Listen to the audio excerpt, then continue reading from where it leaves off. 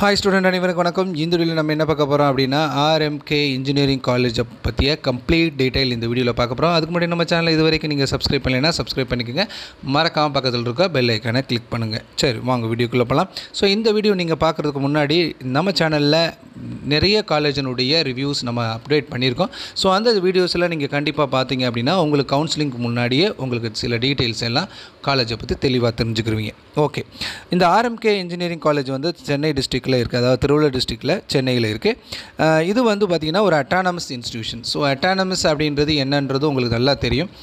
இந்த அட்டானமஸ்ன்றது இவங்களே வந்து எக்ஸாம் பேப்பருக்கு செட் பண்ணுறது பேப்பர் வேல்யூஷன் பண்ணுறது சிலபஸை ரெடி பண்ணுறது எல்லாமே இவங்க தான். ஸோ அதனால் இது ஸ்டூடெண்ட்ஸுக்கு ரொம்ப ஃபேவரபுளாக இருக்கக்கூடிய சிலபஸ் இருக்கும். அதேமாதிரி கரண்ட்டில் இப்போ நமக்கு என்ன சிலபஸ் தேவையோ அந்த சிலபஸை அவங்க கண்டிப்பாக கொண்டிருப்பாங்க. ஸோ அதனால் நீங்கள் வந்து உங்களுக்கு ஹை ஜாப்புக்கு போகும்போது உங்களுக்கு ரொம்ப யூஸ்ஃபுல்லாக இருக்கும். ஓகேங்களா ஸோ இது ஒரு affiliated to the Anna University approved by the AICTE New Delhi accredited by the NAAC with A plus so A plus அப்படின்றது கண்டிப்பாக ஒரு நல்ல காலேஜுக்கு மட்டும்தான் இந்த நேக் கமிட்டி வந்து ஏ ப்ளஸ் கொடுப்பாங்க. ஸோ சாதாரணமான காலேஜுக்கு ஏ ப்ளஸ் கொடுக்குறதுல ஸோ அதேமாதிரி NBA all India all eligible UG ப்ரோக்ராம்ஸ்க்கும் NBA accreditation வாங்கி வச்சுருக்கிறாங்க. ஓகேங்களா ஸோ இவங்களை பொறுத்த வரைக்கும் ரிசல்ட்டை பொறுத்த வரைக்கும் ninety three point zero one percentage வந்து பாஸ் ஆக்கிடுறாங்க.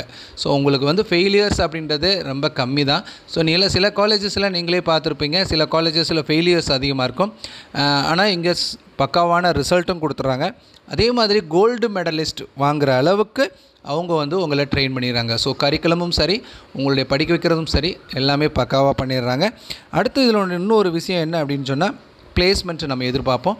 ஸோ பிளேஸ்மெண்ட்ஸ் எப்படி இருக்குது அப்படின்னா கம்ப்ளீட் பண்ணி கோர்ஸை complete பண்ணுறவங்களில் ninety two point three percentage of the ஸ்டூடெண்ட்ஸுக்கு வந்து பிளேஸ்மெண்ட் கிடச்சிருது. ஸோ இதுதான் ரொம்ப முக்கியம்.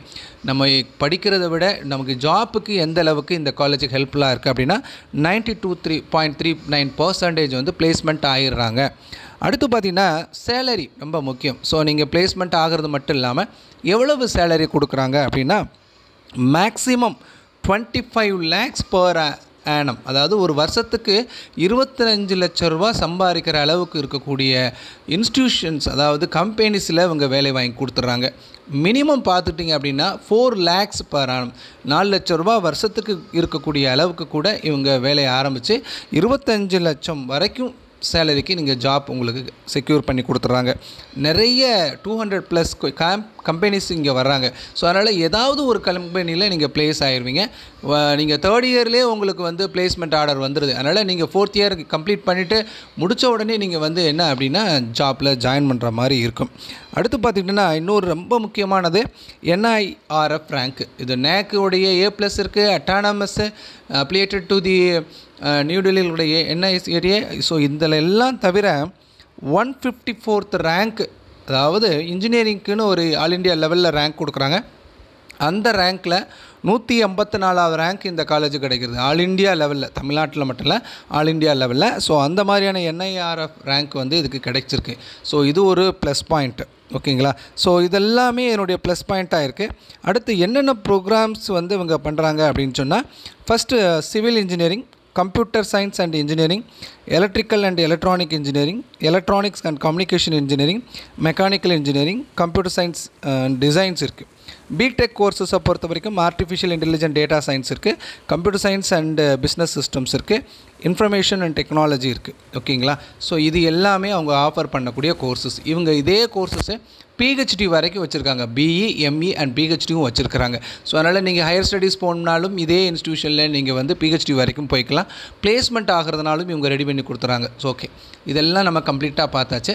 ஸோ அடுத்து என்ன கேட்பீங்க அப்படின்னா ஹாஸ்டல் ஃபெசிலிட்டிஸ் எப்படி இருக்குது காலேஜ் கேம்பஸ் எப்படி இருக்கும்? ஸோ இது நைன்டீன் நைன்ட்டி ஃபைவ்லேயே ஓப்பன் பண்ண காலேஜ் ஸோ அதனால் இன்ஃப்ராஸ்ட்ரக்சர் நல்லாவே இருக்குது ப்ளஸ் கேம்பஸும் உங்களுக்கு நல்லா இருக்குது ஸோ நீங்கள் காலேஜ் வந்து பார்த்துட்டிங்கன்னா க்ரீனாக எங்கே பார்த்தாலுமே நல்லா க்ரீனாக நல்லா க்ரீனிஷாக இருக்கிற அளவுக்கு இருக்குது ஸோ இது நல்ல பக்காவான காலேஜ் நீங்கள் கண்டிப்பாக சென்னைக்கு போனீங்க அப்படின்னா இந்த காலேஜை ஒரு தடவை விசிட் பண்ணி பாருங்கள் நீங்கள் ஜாயின் பண்ணுறதுக்கு முன்னாடி பக்காவான காலேஜ் அடுத்து ஹாஸ்டலில் பொறுத்த வரைக்கும் பாய்ஸ் ஹாஸ்டல் கேர்ள்ஸ் ஹாஸ்டல் தனித்தனியாக இருக்குது ஸோ ஹாஸ்டலில் ஒய்ஃபை ஃபெசிலிட்டிஸ் இருக்குது ஜிம் இருக்குது அதே மாதிரி உங்களுக்கு வந்து ஷாப்ஸ் உள்ளே அவைலபிளாக இருக்குது ஸோ உங்களுக்கு என்ன எமர்ஜென்சி எல்லாமே அங்கேயே வாங்கிக்கிற அளவுக்கு இருக்குது அடுத்து பார்த்துட்டிங்கன்னா ஹாஸ்பிட்டல்ஸ் ஸோ உங்களுக்கு எமர்ஜென்சி ஹாஸ்பிட்டல்ஸும் உள்ளே வச்சுருக்குறாங்க.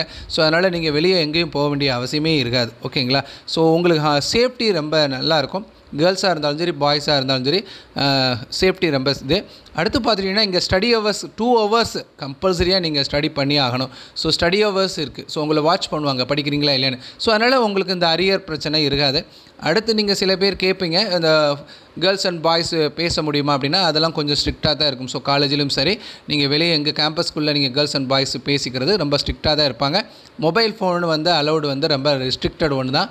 ஸோ நீங்கள் ஃப்ரீயாலாம் யூஸ் பண்ணிக்கிற முடியாது காலேஜில் ஹாஸ்டலில் நீங்கள் யூஸ் பண்ணிக்கலாம் பட் காலேஜில் யூஸ் பண்ண முடியாது. ஓகேங்களா ஸோ ஓகே சார் இதனுடைய ஃபீஸ் எப்படி இருக்கும் அப்படின்றது அடுத்த கட்டமாக கேட்போம். ஃபீஸை பொறுத்த வரைக்கும் எல்லா காலேஜஸ்க்கும் சொல்கிறது தான். ஸோ அரவுண்டு டூ லேக்ஸ் வரைக்கும் வரலாம். அது கோர்ஸை பொறுத்து இருக்கு. பிஏ எடுத்திருக்கீங்களா பிடெக் எடுத்திருக்கீங்களான்னு. ஸோ ஒன் பாயிண்ட் ஃபைவ் லேக்ஸ்லேருந்து டூ லேக்ஸ் வரைக்கும் காலேஜ் ஃபீஸ் மட்டும் வரலாம். ஹாஸ்டல் ஃபீஸும் அதே மாதிரி ஒன் பா ஒன்லேருந்து ஒன் பாயிண்ட் ஃபைவ் வரைக்கும் வரலாம். ஸோ அது கோர்ஸை பொறுத்து இருக்குது நீங்கள் என்ன இதில் கேட்டகரியில் நீங்கள் போய் செலக்ட் ஆகிருக்கீங்க அப்படின்ற பொறுத்தும் இருக்குது இதெல்லாம் வந்து ஃபீஸ் வந்து around three to four lakhs எப்படியும் வருஷத்துக்கு செலவாகிறதுக்கு வாய்ப்பு இருக்குது ஓகேங்களா? அடுத்து நம்ம கேட்குறது என்ன கேட்பீங்க அப்படின்னா கட் ஆஃப் எவ்வளோ சார் இருக்கும் அப்படின்னு. ஒரு ஒன் எயிட்டி ஃபைவ் இருந்துச்சு அப்படின்னா ஒன் எயிட்டி ஃபைவ் இருந்துச்சுன்னா நீங்கள் எந்த கோர்ஸுமே நீங்கள் செலக்ட் பண்ணிக்கிற மாதிரி இருக்கும். ஒன் எயிட்டி ஃபைவ் ப்ளஸ் இருந்தால் இதே இது வந்து பார்த்திங்கன்னா எஸ்சி எஸ்டியாக இருந்தால் ஒன் எயிட்டி ப்ளஸ் இருந்தாலே உங்களுக்கு இந்த காலேஜில் கிடைக்கிறதுக்கு வாய்ப்புகள் இருக்குது ஸோ அது வந்து டிமாண்டை பொறுத்திருக்கு நான் சொல்கிறது minimum cut off one eighty அப்படின்றது எஸ்சி எஸ்டிக்கு மினிமம் இருக்குன்னா ஒன் எயிட்டி ஃபைவ்ன்றது மினிமம் வந்து பிசி எம்பிசி அவங்களுக்குலாம் இருக்கணும் அப்படின்றது தான். ஸோ இன்னும் கட் ஆஃப் அதிகமாகும் போது இந்த காலேஜுக்கு நீங்கள் எடுக்கிறது ரொம்ப யூஸாக இருக்கும். இது ஆக்சுவலாக பார்த்துட்டிங்கன்னா இது செகண்ட் ரவுண்டில் ஃபில் ஆகும். So first round second round first round முடிஞ்சதுலேயே ஓரளவுக்கு ஃபில் ஆகிடும் ஒரு சில சீட்ஸ் மட்டும் தான் செகண்ட் ரவுண்டுக்கு வரும். ஸோ நீங்கள் ஃபஸ்ட் ரவுண்டில் இருந்தீங்கன்னா கண்டிப்பாக நீங்கள் இந்த காலேஜை சூஸ் பண்ணுறதுக்கு வாய்ப்புகள் இருக்குது ஓகேங்களா ஸோ உங்களுக்கு தெளிவாக புரிஞ்சிருக்கும்னு நினைக்கிறேன். ஸோ இந்த காலேஜ் வந்து நைன்டீன் நைன்ட்டி ஃபைவ்ல ஓப்பன் பண்ணியிருக்கிறாங்க. ஸோ பிளேஸ்மெண்ட்ஸும் சரி. கேம்ப உங்களுக்கு வந்து அகாடமிக்ஸ் இதுவும் சரி உங்களுக்கு ரிசல்ட்டும் சரி பக்காவாக இருக்குது ஸோ ஒரு தடவை இந்த காலேஜை போய் விசிட் பண்ணிவிட்டு உங்களோட விசிட் எக்ஸ்பீரியன்ஸ் எப்படி இருக்குன்னு கமெண்ட் பாக்ஸில் தெரிவிங்க. சென்னையில் இருக்கிறவங்க கமெண்ட் பண்ணுங்கள் தேங்க்யூ